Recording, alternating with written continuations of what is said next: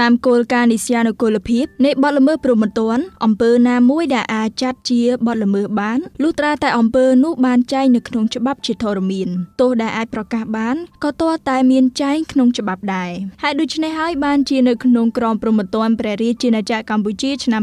2009បានចែងអំពីនិយមន័យភាពសមនៃបទល្មើសនិងអំពីទោសដែលត្រូវយកមកអនុវត្តចំពោះអំពើល្មើសទាំងនោះផ្អែកតាមបទបញ្ញត្តិនៃក្រមព្រហ្មទណ្ឌកម្ពុជាឆ្នាំ2009បានកំណត់ថាទោសត្រូវបានចែកចេញជា3ប្រភេទគឺមូលទោសទោសបន្ថែមនិងទោសជំនួសតាមគោលការណ៍គ្រប់បទល្មើសទាំងអស់សុទ្ធតែត្រូវផ្ដន្ទាទោសយ៉ាងហោចណាស់ដោយមូលទោសមួយជាក់ស្ដែងមាត្រា43នៃក្រមព្រហ្មទណ្ឌបានកំណត់ថាមូលទោសរួមមានទោសដាក់ពន្ធនាគារនិងទោសពិន័យចំណែកទោសប្រហារជីវិតគឺត្រូវបានលុបចោលដោយមាត្រា32នៃក្រមរដ្ឋធម្មនុញ្ញឆ្នាំ1993ជាទូទៅទោសដាក់ពន្ធនាគារគឺជាទោសដែលត្រូវបានបំបត្តិចោលស្ទើរតែទាំងស្រុងនៅសេរីភាពជាមូលដ្ឋានដោយមានការកំណត់ជាក់លាក់ដែលច្បាប់តែងតែកំណត់នៅអតិបរមានៃទោសនិងអបបរមានៃទោសក៏ប៉ុន្តែយោងតាមក្រមព្រហ្មទណ្ឌទោសដាក់ពន្ធនាគារក៏អាចជាការដាក់ពន្ធនាគារអស់មួយជីវិតផងដែរចំណែកឯទោសពិន័យវិញគឺជាទោសដែលតម្រូវឲ្យទណ្ឌិនបង់ចំនួនប្រាក់តាមការកំណត់ដោយច្បាប់ចំពោះទឹកប្រាក់ដែលត្រូវបង់គឺត្រូវកំណត់ដោយប្រាក់រៀលហើយប្រាក់ដែលជាផលនៃការពិន័យទាំងនោះគឺត្រូវទុកជាចំណូលថវិកាជាតិដោយត្រូវយកទៅរក្សាទុកនៅរដ្ឋាភិបាលជាតិបើយើងនិយាយអំពីទោសពិន័យនេះវាអាចជាចម្ងល់មួយរវាងថាតើទោសពិន័យនិងការសងសំណងជំងឺចិត្តវាអាចដូចគ្នាដែរឬទេចម្លើយគឺមិនដូចទេទោសពិន័យជាប្រាក់គឺជាទោសព្រហ្មទណ្ឌដូច្នេះតើតែមានច្បាប់ចែងថាបទល្មើសណាដែលត្រូវពិន័យជាប្រាក់ទើបចៅក្រមអាចប្រកាសទោសពិន័យជាប្រាក់បានប្រាក់ដែលពិន័យគឺត្រូវបង់ទៅឲ្យរដ្ឋចំណែកឯសំណងជំងឺចិត្តវិញគឺជាទោសរដ្ឋបវេនីហើយមិនចាំបាច់ត្រូវតែមានចែងនៅក្នុងក្រមព្រហ្មទណ្ឌនោះទេចៅក្រមអាចប្រកាសទោសសំណងជំងឺចិត្តបានគឺទាល់តែមានការទៀមទាពីដើមបណ្ដឹងរដ្ឋបវេនីហើយទាល់តែដើមបណ្ដឹងរដ្ឋបវេនីនេះពិតជាបានទទួលរងនៅព្យាសនកម្មឬក៏យើងអាចហៅម្យ៉ាងទៀតថាគឺជាការខូចខាតបង្កឡើងដោយទង្វើរបស់ជនល្មើសសំណងជំងឺចិត្តគឺត្រូវបង់ទៅឲ្យជនរងគ្រោះ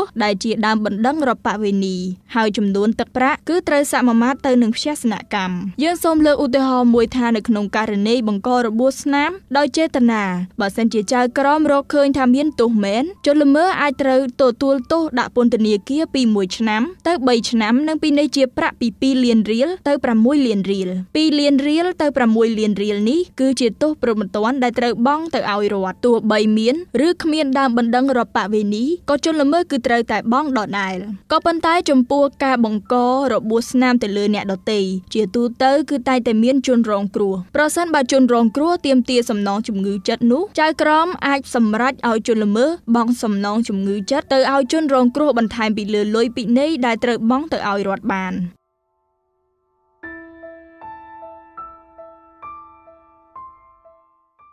យើងសូមបន្តទៅកាន់ទោសបន្ថែមវិញម្ដង ជាគោលការណ៍ទោសបន្ថែមគឺជាទោសដែលតុលាការ ប្រកាសបន្ថែមទៅលើមូលទោសក៏ប៉ុន្តែទោសបន្ថែមនឹងអាចប្រកាសទៅបានលុះត្រាតែទោសនេះត្រូវបានចែងដោយជាក់លាក់ចំពោះបទឧក្រិដ្ឋបទមជ្ឈិមឬបទលហុដែលត្រូវបានចោទប្រកាន់តាមបញ្ញត្តិនីមួយៗទោសបន្ថែមអាចមានច្រើនប្រភេទដែលមានចែងនៅក្នុងមាត្រា53នៃក្រមព្រហ្មទណ្ឌឆ្នាំ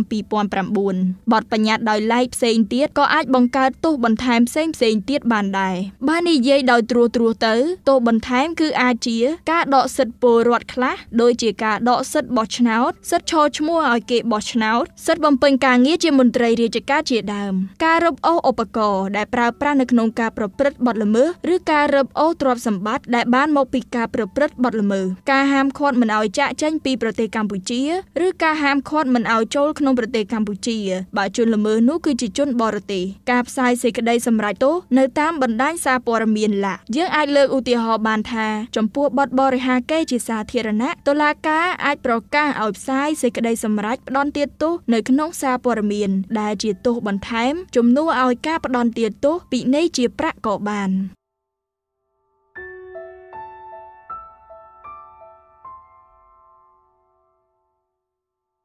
យើងសូមបន្តទៅកម្មប្រភេទទោសចុងក្រោយ គឺជាទោសជំនួសទោសជំនួសនេះត្រូវបានចែកចេញជាពីរគឺទោសការងារសហគមន៍និងទោសស្ដីបន្ទោសយ៉ាងណាមិញទោសជំនួសអាចត្រូវតុលាការយកមកប្រើប្រាស់ជំនួសមូលទោសចំពោះការប្រព្រឹត្តបទល្មើសណាមួយផ្អែកតាមគោលការណ៍ក្រមព្រហ្មទណ្ឌកម្ពុជាមាត្រា72បានកំណត់ថាទោសការងារសហគមន៍គឺជាកាតព្វកិច្ចត្រូវបំពេញក្នុងថេរវេលាចន្លោះពី30ទៅ200ម៉ោង នៅការងារដែលគ្មានកម្រៃជាប្រយោជន៍ដល់រដ្ឋរដ្ឋបាលថ្នាក់ក្រោមជាតិឬនីតិបុគ្គលសាធារណៈសហគមន៍ឬអង្គការក្រៅរដ្ឋាភិបាលត្រង់ចំណុចនេះយើងអាចទាញឧទាហរណ៍មួយបានថាលោកក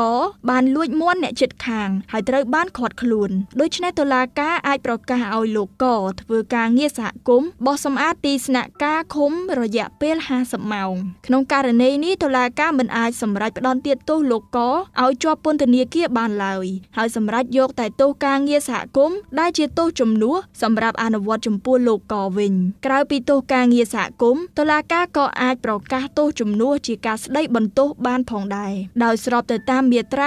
76នៃក្រមព្រហ្មទណ្ឌបានកំណត់ថាតុលាការអាចប្រកាសទោសស្ដីបន្ទោសបានលុះត្រាតែមានគ្រប់លក្ខខណ្ឌ3ដូចតទៅ ទី1ភាពចលាចលដល់សន្តិភាពសាធារណៈដែលបណ្ដាលមកពីបទល្មើសបានបញ្ចប់ទី2ការខូចខាតគឺត្រូវបានជួសជុលរួចទី3ជនជាប់ចោតបង្ហាញការធានាក្នុងការចូលទៅរួមរស់ក្នុងសង្គមវិញ ត្រង់ចំណុចនេះសូមលើកឧទាហរណ៍ថាកញ្ញាក